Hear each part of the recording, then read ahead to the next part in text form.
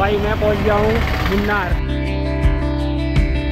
Good morning guys and स्वागत है बस से।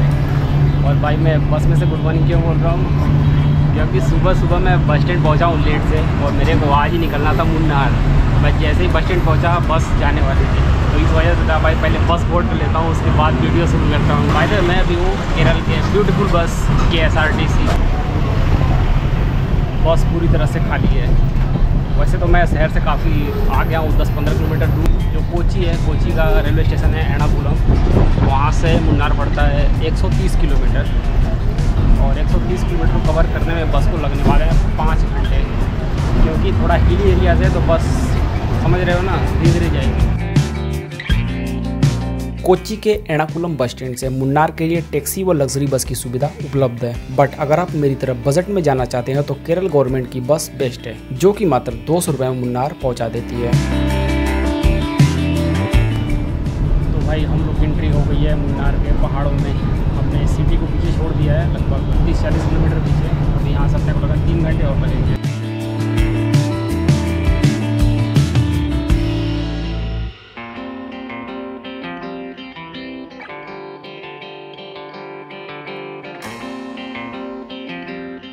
कोच्चि से मुन्नार का रास्ता बेहद खूबसूरत व ग्रीनरी से भरा है। मुन्नार के रास्ते में बस बहुत से छोटे छोटे बस स्टैंड पर रुकते हुए जाती है।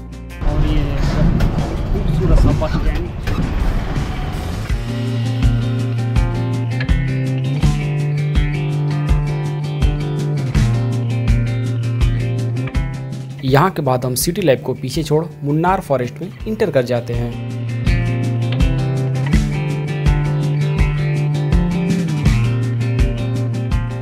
जहाँ रास्ते तो कमाल के थे ही बट नज़ारे बेहद खूबसूरत थे।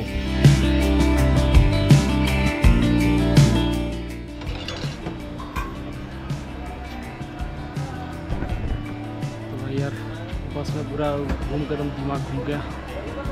अब यहाँ से मुन्नार एक घंटे की और दूरी पर है, एक घंटे पहुँच जाएँगे। फ़िलहाल बस अपने उधर रुकी हुई है।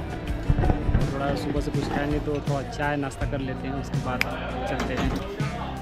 खाने का ऑप्शन तो भाई ये मंगाया मैंने, चाय पीते हैं फ़िलहाल। बाय द यार, कोची से जो मुन्नार का रास्ता, बड़ा ही प्यारा रास्ता है। ग्रीनरी भरपूर बीच में बहुत सारा खाने पीने का भी आइटम था, लेकिन अपनी बस वही है भाई। गवर्नमेंट बस सस्ता पड़ता है, लेकिन घाटा इस बात का लगता है कि आप कहीं उसमें रुक नहीं सकते हो। बाकी फटाफट नाश्ता करते हैं और चलते हैं।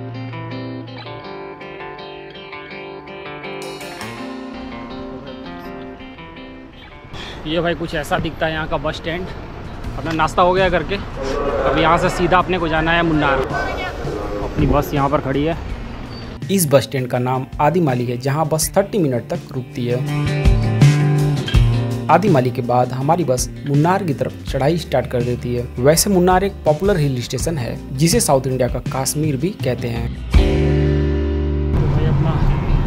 खूबसूरत सा लोकेशन स्टार्ट हो गया है। मुन्नार के ऊँचे ऊँचे lush green mountain western Ghat mountain range में आते हैं। बट इस जगह के ये ऊँचे पहाड़ व चाय के बगान इस जगह को बेहद खूबसूरत बनाते हैं। या मैं एक शब्द में बोलूँ तो ये जगह स्वर्ग से कम नहीं है।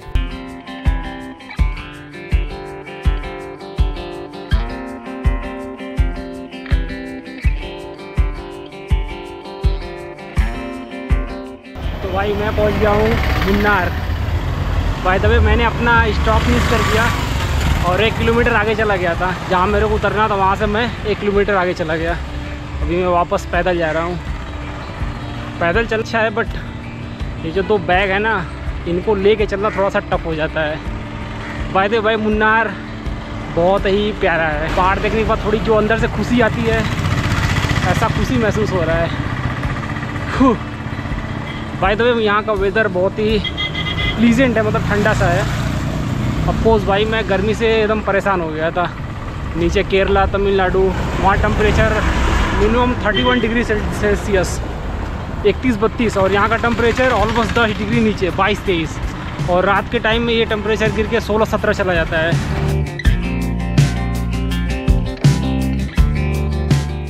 और मुन्नार में आके मेरे को ऐसा लग रहा है जैसे मैं दोबारा से नॉर्थ ईस्ट में आ गया हूँ। सूरज तो दिख ही नहीं रहा, बादल ही बादल दिख रहे हैं।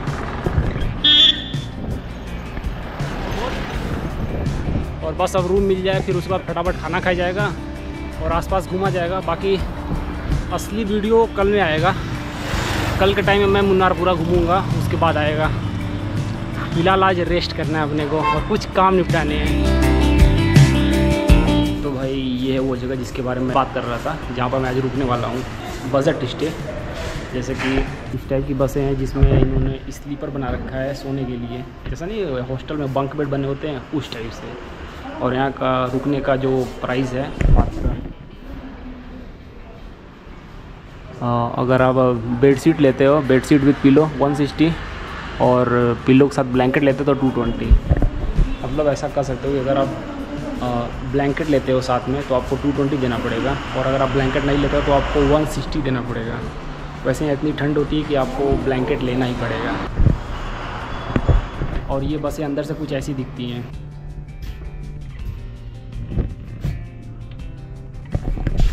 ये कुछ ऐसा दिखता है डोरमेट्री।